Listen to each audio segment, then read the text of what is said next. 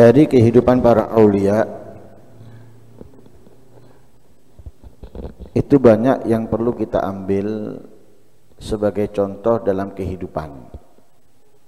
Karena mereka para aulia berusaha sempurna di dalam meneladani Nabi Muhammad sallallahu alaihi wasallam. Dari mereka kita bisa melihat bagaimana sempurnanya akhlak Nabi Muhammad. Karena kita sangat jauh zaman kita dengan Nabi Muhammad. Kita dengar cerita kita dengar berita tentang Nabi Muhammad tapi perbuatannya bagaimana kita nggak tahu pasti lah kita bisa mengetahui pasti perbuatan yang dijalankan Nabi sesuai yang disabdakan olehnya atau yang difirmankan oleh Allah Subhanahu wa taala dari kehidupan para aulia. Nah, dari akhlaknya, sifat-sifatnya itu bisa kita lihat dari para aulia. Di antaranya yang kita hauli Al-Habib Alawi bin Segaf As-Segaf. Habib Alawi ini yang patut kita ambil dari beliau selain ilmu, selain ibadah yaitu ithar. Lebih mengutamakan orang lain dari dirinya sendiri dan itulah yang diajarkan oleh Rasul Shallallahu Alaihi Wasallam. Mendahulukan orang lain mengutamakan orang lain daripada dirinya. Itu nggak mudah. Sekalipun bagi orang yang berduit. Dia punya duit banyak. Kalaupun dia berbagi duitnya masih banyak. Untuk mendahulukan orang lain susah. Apalagi dari orang yang nggak punya duit kemudian dia punya duit ada orang yang membutuhkan. Lah itu sifat yang diajarkan oleh Allah sifat yang diajarkan oleh Rasulullah dan terjadi di zaman Nabi. Sering kita dengar cerita insya Allah tapi sekedar untuk mengingatkan. Ada satu seorang sahabat yang puasa. Dan untuk berbuka nggak punya. Kecuali hanya air atau kurma. Akhirnya puasa lagi. Sampai hari ketiga. Dia puasa seperti itu. Kebetulan hari ketiga punya sesuatu yang dimakan punya sesuatu yang dimakan. Ada tamu datang Rasulullah menawarkan kepada para sahabatnya siapa yang mau menjamu tamu ini? Sahabat tersebut langsung mengatakan aku ya Rasulullah. Karena yang menawarkan Rasulullah aku ya Rasulullah. Seakan-akan dia punya karungan gandum atau daging di rumahnya. Aku ya Rasulullah. Dia ajak dia ke rumahnya Sampai rumahnya ngomong ke istrinya, ini ada tamu, ada nggak makanan? Katanya dia ada makanan, tapi makanan ini sedikit. Kalau kita kasih tamu, ya kita dan anak nggak makan. Ya sudah nggak apa-apa. Anaknya masih kecil, anak masih kecil butuh makan. Apalagi anaknya sudah ngerengek, nangis-nangis kelaparan. Katanya suaminya tidurkan dulu aja dia. Tidurkan dulu suruh tidurkan anaknya ditidurkan tidur anaknya. Setelah tidur disuruh menghidangkan makanan. Direncanakan sama suaminya nanti kalau kamu hidangkan makanan ketika mau makan matikan lampunya. Jadi seperti kehabisan minyak atau apa wis matikan lampunya kemudian kita pura-pura makan bersama dia sudah dihidangkan makanan, matikan lampunya. Tuan rumahnya ini puasa, belum berbuka, ya itu yang dia punya. Jadi dia pura-pura makan. Tamunya makan lah. Dia pura-pura makan. Dia pura-pura toh, padahal nggak makan. Nah ini ithar, mendahulukan orang lain. Kalau kita ditawarkan oleh Rasulullah siapa yang mau menjamu, kita mungkin katanya jawab mikir disik ono omaku mek ono beras tok. Ono iwake. Ini itu sungkan aku kok ndak enak dan ini tamunya Rasulullah. Walasan macam-macam sudah. Untuk menolak atau untuk mengatakan dirinya itu benar menolak itu alasannya macam-macam. Kalau mereka enggak langsung belum lagi cerita yang sering lagi kita dengar. Nyawa bahkan menjadi taruhannya lebih mengutamakan orang lain di dalam peperangan. Dalam peperangan selesai peperangan ada sahabat yang nyari. Barangkali ada temannya yang masih hidup atau yang lain sebagainya mendengarkan kelintihan yang ingin minum. Ketika mau dikasih minum satunya ngerintih. Dengar dia oh dia lebih membutuhkan. Ini padahal sudah ngerintih kehausan mau mati. Dengar rintihan yang lain katanya dia enggak itu lebih membutuhkan dari aku. Di oper kedua kedua mendengarkan rintihan ketiga di oper ketiga. Akhirnya kembali ke pertama meninggal kembali kedua meninggal ketiga meninggal masing-masing meninggal karena lebih mendahulukan yang lain. Ada juga sahabat tetangganya masak nah, kalau kita masak dan bau masakan kita aromahnya ini keluar ke tetangga jangan kemudian kita kasih aromahnya tok tidak dicicipi. Ya. yang dianjurkan oleh Rasulullah itu fal yukthir marokoh. Perbanyak kuahnya. Untuk apa? ngedum dibagi ke tetangganya. Tonggo ini dikai imam tok. Nah, gawe gule ini bunit tok. Hmm, gawe gule koyo aneh bunit tok Nah nek teko guline. Engko gawe krengsengan mambune tok. Gawe krengsengan. Dikeki mambune tok. Ya sing gawe iki mikir tanggane sok warak ambek mambu gitu. Diperintahkan kalau kita bikin masakan, kemudian masakan tadi itu aromanya keluar, ya, kita bagi ke mereka. Itu yang dianjurkan, yang diajarkan. Nah ini ada sahabat bikin masakan, diantarkan ke rumahnya tetangganya nih. Ya Allah, terima kasih kamu ngasih aku. Ini nikmat, benar-benar nikmat. Tapi maaf, maaf. Tetangga ini lebih membutuhkan dari aku. Tetangga sebelah lebih membutuhkan dari aku. Tetangga sebelahnya. Ditolak juga katanya, Alhamdulillah, terima kasih. Kamu perhatian dengan aku, mau memberi aku tapi maaf, tetangga sebelah ini lebih membutuhkan dari aku. Jadi lebih mengutamakan yang lain. Kalau kita ketok sate, ketok anu, oh terus un, tutup lawang, lep lep lep kalau kita. Kan gitu ya. Kalau kita. Kalau ini enggak ngelempar ke tetangganya. Tetangganya dilempar ke tetangganya sampai tujuh rumah. Jadi kembali ke pertama ini sampai tujuh rumah. Dari pertama sampai tujuh semuanya menolak lebih mengutamakan yang yang lain. Itu isar itu penting. Lah selama ini kan kita enggak peduli orang lain yang penting diri kita. Bagaimana kita kenyang, bagaimana kita senang, bagaimana kita bahagia, mau orang lain susah, mau orang lain sedih, mau orang lain apes, kita enggak peduli. Ini salah.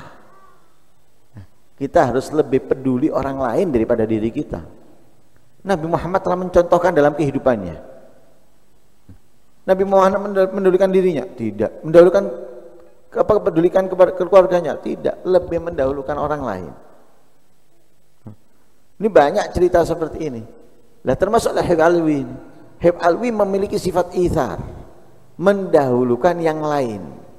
Dalam segalanya. Bahkan dalam pakaian. Di saat memang saat itu dibutuhkan hari raya hampir semua orang butuh pakaian baru Semua orang butuh pakaian baru kalau hari raya. Lahib alwi ini bagi-bagi. Bagi-bagi sarung. Kalau kita kan enggak ya, kalau kita maunya nerima, nak mau bagi.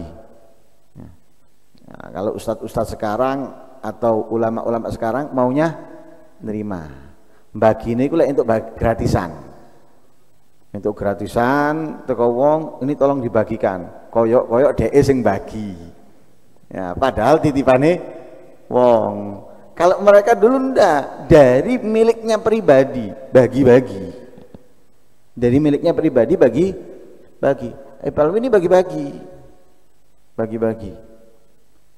Sudah bagi-bagi, sudah hari raya keluar mau sholat id dari rumahnya.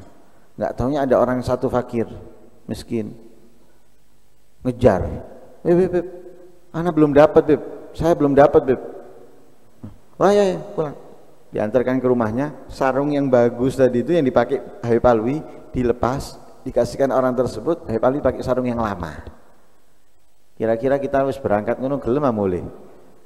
Durung berangkat tak gelem. Waduh wis telas ngaputene wis ndak ono menenge. Entek wisan. Eh, lali kula supir dan sebagainya macam-macam alasan. Ini ndak sudah jalan keluar pulang. Lebih mendahulukan orang lah sifat seperti ini harus kita miliki.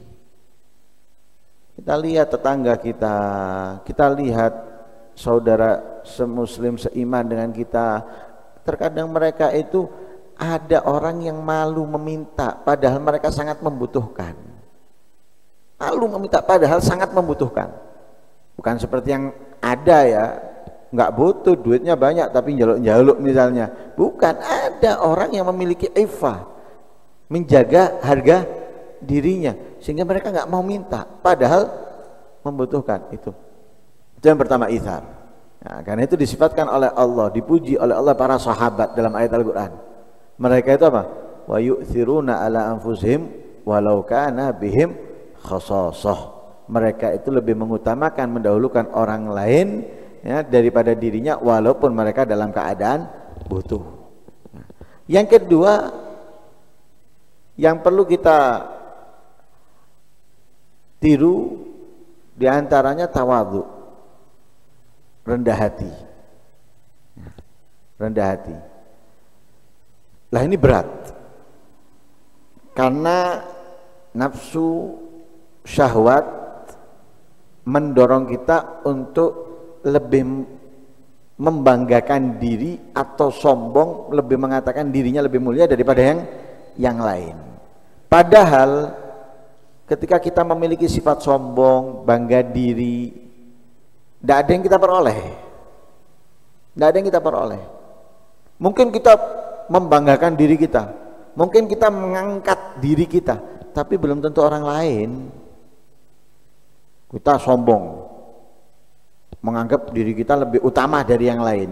Itu belum tentu dari orang lain, dari diri kita sendiri. Terus apa manfaatnya? Apa manfaatnya, Pak? Kita menyombongkan diri, bangga diri, untuk apa manfaatnya? Sedangkan orang lain melihat kita mungkin nggak senang dengan seperti itu. Padahal kita melakukan itu tujuannya supaya orang menghormati atau memuliakan atau yang lain sebagainya.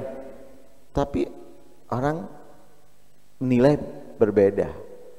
Ya, memiliki nilai berbeda. Justru rendah hati itu yang membuat orang lain terpikat. Hah? Membuat orang lain terpikat. Karena itu para aulia tidak pernah mereka menganggap dirinya lebih mulia dari siapa pun. Tidak pernah. Menganggap dirinya lebih mulia dari siapa pun. Sekalipun malam bangun, sholat, nangis, memohon kepada Allah, Al-Quran, hatamnya harian, sekali hatam. Tapi nggak pernah menganggap dirinya lebih hebat, lebih mulia dari orang lain, sekalipun orang yang ahli maksiat. Sekalipun orang yang ahli maksiat. Nggak pernah dia menganggap dirinya lebih mulia.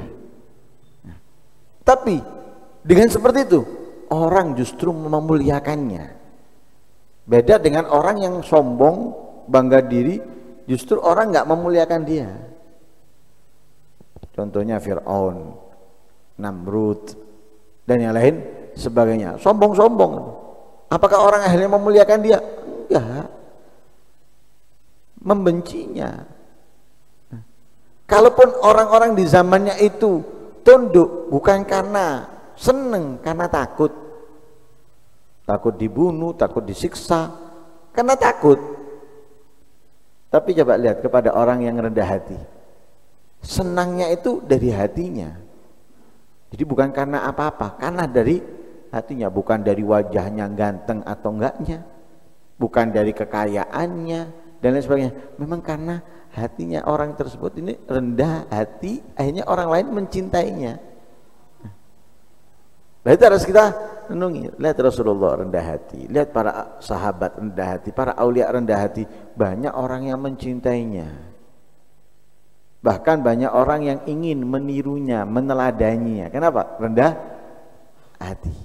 Nah, itu perlu kita tiru. Nah, rendahnya hatinya Habib Palwi ini beda dengan yang lain.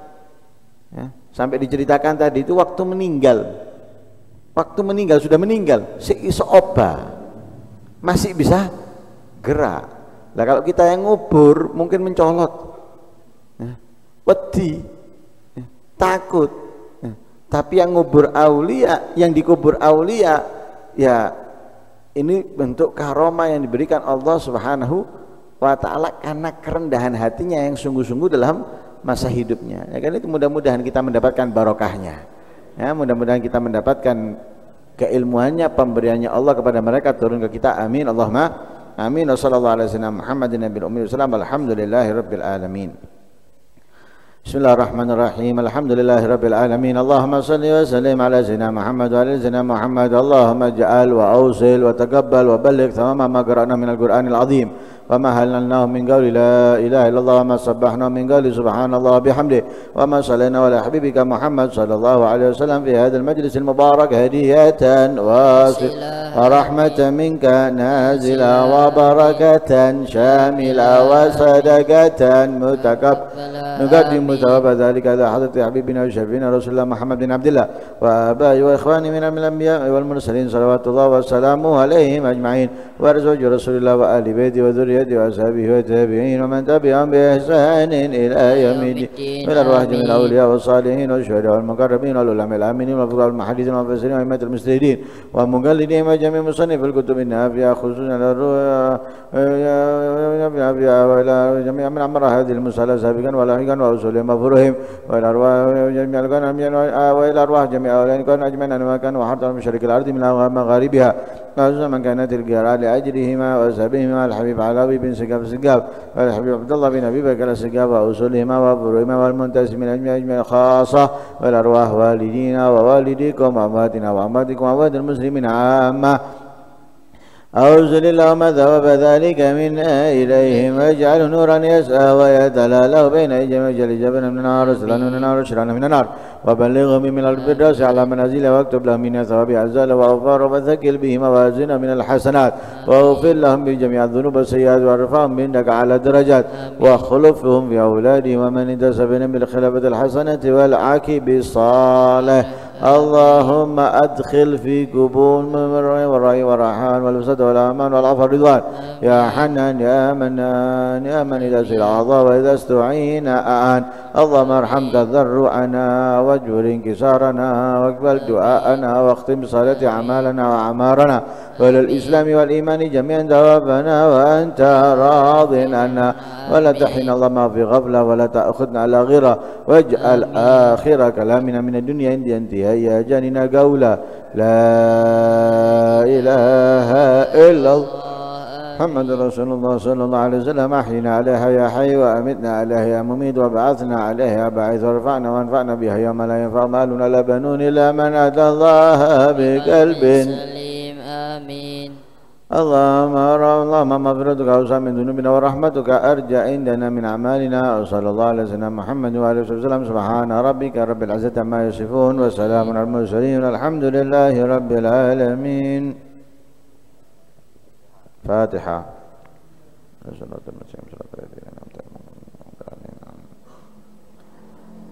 Ada permintaan bantuan Fatihah untuk Haji Saman yang meninggal. Allahumma lahu warhamhu wa afi wa fa'anhu wa akrim nuzulahu wa wasi madkhalahu واغسله بالماء والثلاث والبلد ونكي من الخطايا كما ينكى الثوب الأبيض من الدنس وأبدله دارا خيرا من داره وأهلا خيرا من أهله وزوجا خيرا من زوجه وأدخله الجنة وأعده من عذاب القبر وفناده من عذاب النار. اللهم اجعل قبره روضة من رياض الجنة ولا تجعل قبره حفرة من حفر النيران. على هذه النية وعلى كنت صالحة وعلى من أفضل صلاة وإلى. صراط المسلمين الذين buat lingkaran 55 jangan dimakan kecuali setelah lima lima orang